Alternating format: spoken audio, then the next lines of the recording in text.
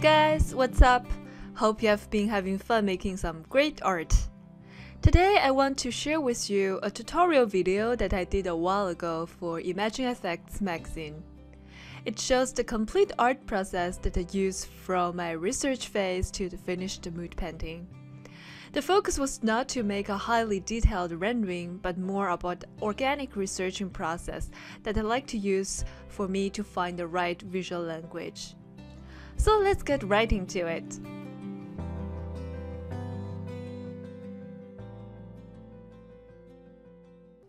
Today, I will lead you through this step-by-step -step workshop from extracting building textures to completing a final art piece. It is very important to develop your own personal image bank. Not only you will have original material, the copyright to those photos will also totally belong to you. Here are some cityscapes related photos that I have taken in China and States. I'm going over them quickly to see what are the interesting elements that I can use in my concepts. After looking through the reference, I have a solid idea of what kind of shapes and silhouettes that I want to have for this image. Now I'm dragging photo reference in Photoshop in order to extract the shapes that I want to have. You can use whatever selection method that you feel comfortable with, such as color range, lasso tool, masking tool, etc.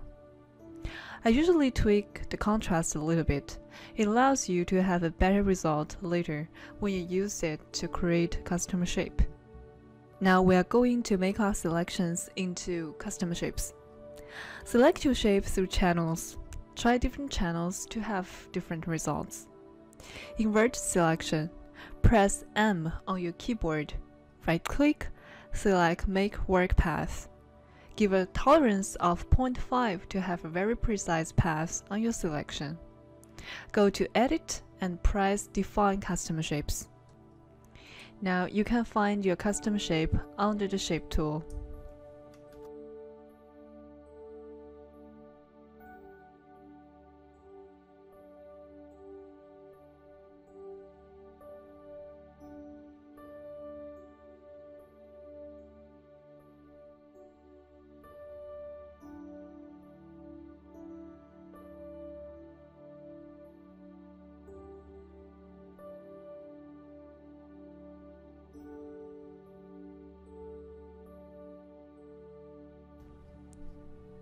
I'm repeating the same process to make few different building shapes.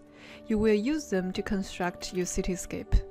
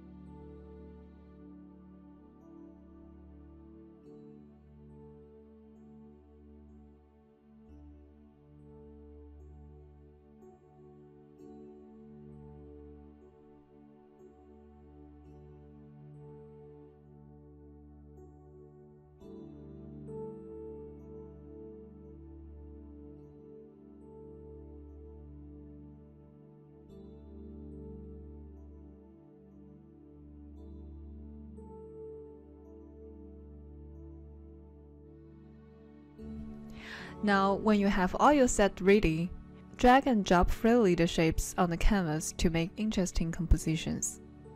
Think about silhouettes, depth, lighting direction when you are creating those thumbnails. You can create a large volume of sketches in a very short amount of time. Do you see how fun and fast this process can be?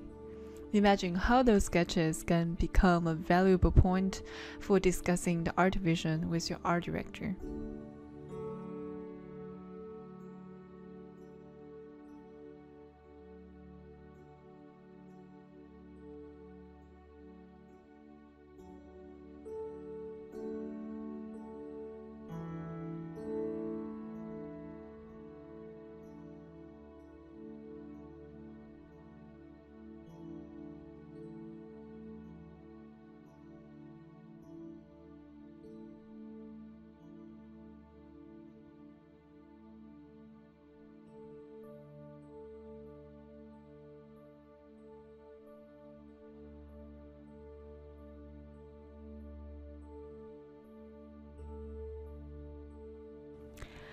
Now I take a small break and step back from the computer to study the visual possibilities that I got so far. I select the one that I find having most potential, combining it with few elements from other thumbnails to have my final sketch. I tweak further the overall shapes, values, and contrast, and add some billboards with very bright values.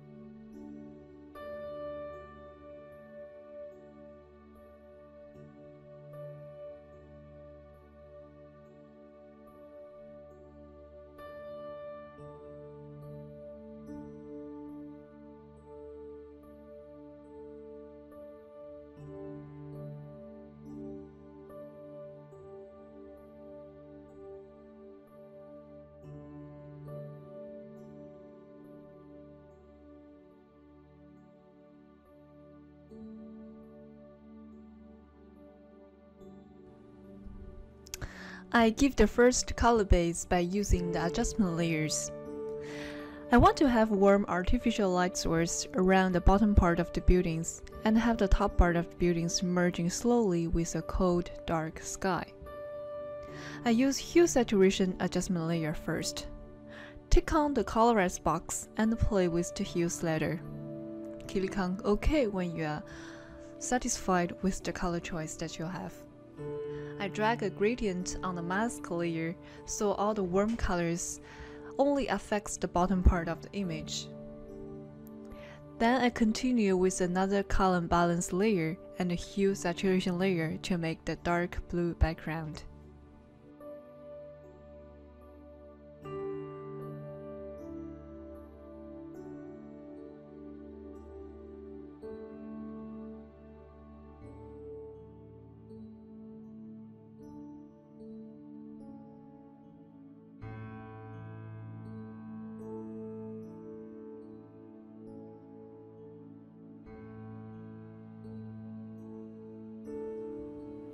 Then I pick a sketching brush to put some color noise in the shaded area.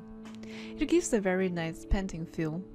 The default charcoal Photoshop brushes can work pretty nicely if you don't have your own brush set. Do it loosely to have some fun sketching around. I usually go with my instinct for this step without too much analytical thinking.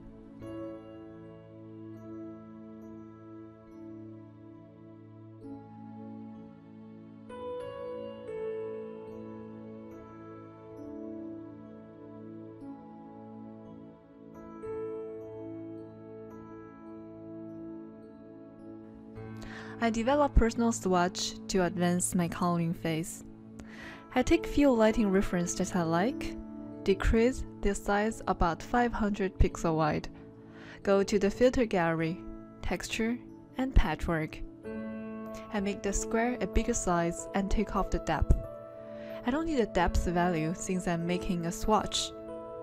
Now I can color pick from those swatches to have few saturated lights in my scene.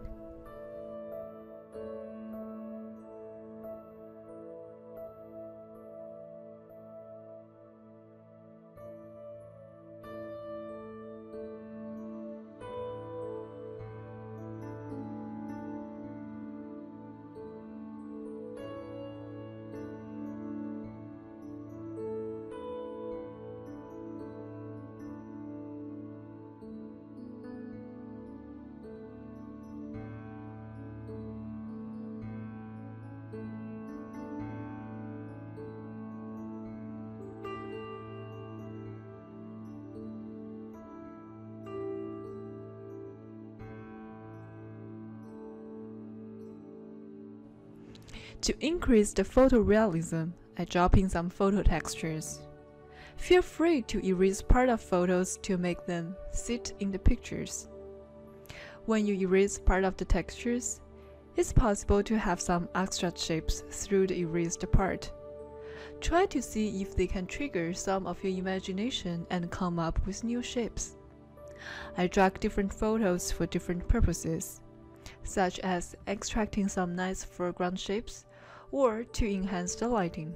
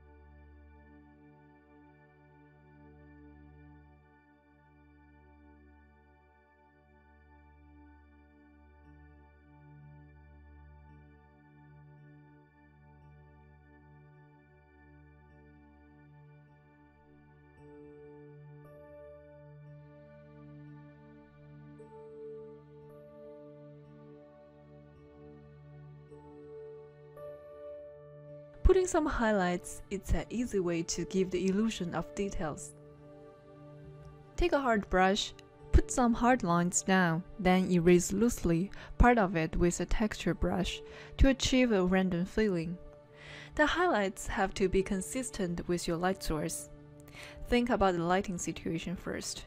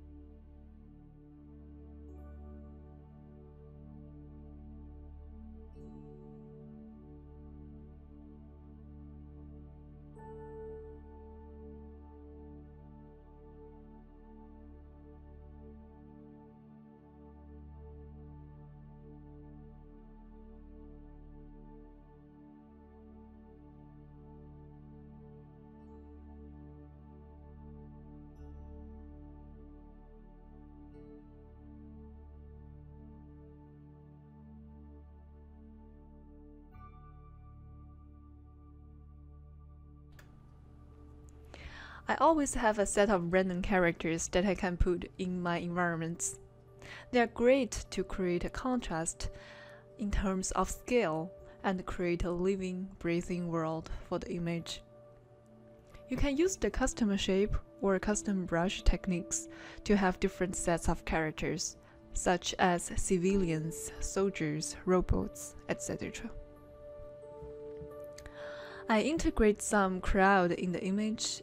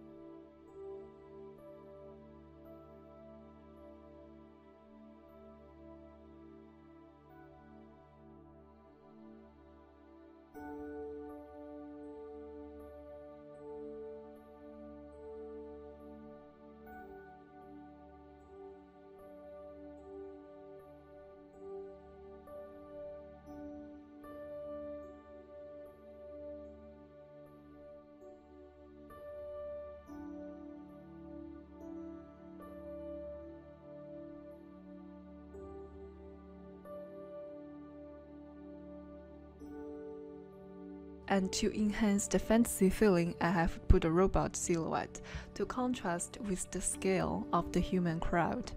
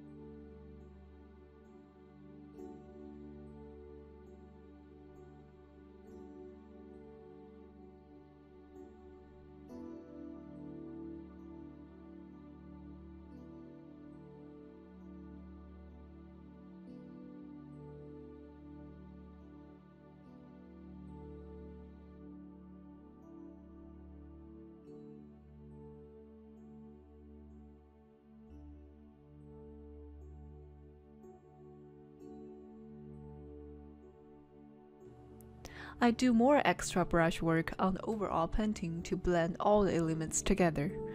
For this stage, I often use a brush that mimics the traditional brush, such as oil brush or watercolor brush. This step usually gives that extra layer of personal artistic style. You can approach it differently by simplifying the shapes or to bring more color vibrancy into the image.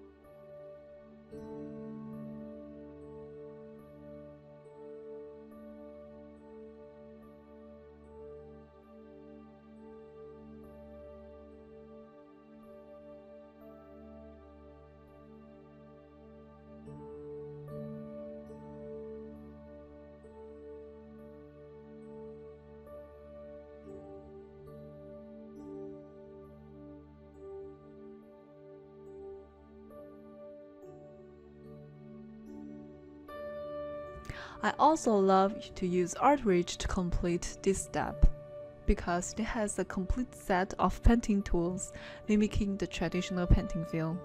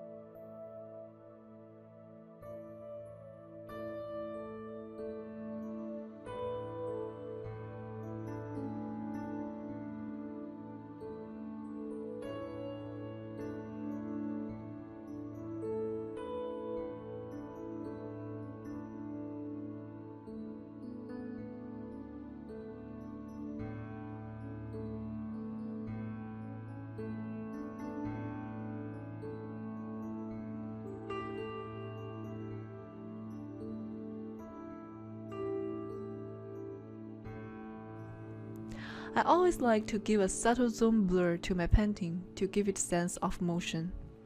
This can also to help to blend photo textures and your brush strokes together. First, merge your image on your layer. Then you can blur this by going to Filter, Blur, Radial Blur, and select the zoom option. Give an amount of about 10 pixels. I usually combine my zoom layer with the masking tool. I apply gradient on a mask, so only the bottom part is revealed. I like finalizing my painting with a color aberration and a sharpen filter. For doing the color aberration, go to Filter, Lens Correction. Click on the Custom tab and play with chromatic aberration sliders. Try out few different settings to see what fits your personal preference the best. Then for the sharpening part, go to Filter, Sharpen, and sharpen the mask. Feel free to play with the amount, radius, and threshold setting to see what kind of results you can get. Usually, more the radius get bigger, more the noise pixel gets bigger. Now, we can also apply a photo layer to have an overall color adjustment on the image. Now we are finally done with the painting. I really hope that you have enjoyed this workshop and have learned few digital painting tricks from it. Thanks for watching.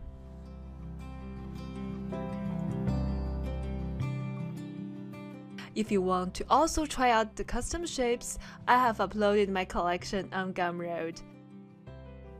It includes more than 100 custom shapes, including mechanical parts, landscape, and cityscape shapes. You will also get the original PSD of the mood painting within the package. If you ever get a chance to try them out, let me know how effective you find them and if they are useful for the brainstorm process, as I am always very curious about your feedbacks. Thanks for watching, ciao for now!